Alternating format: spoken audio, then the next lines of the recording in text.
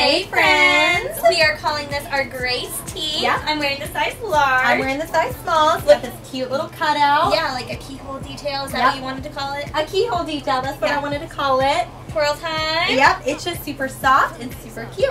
Love it.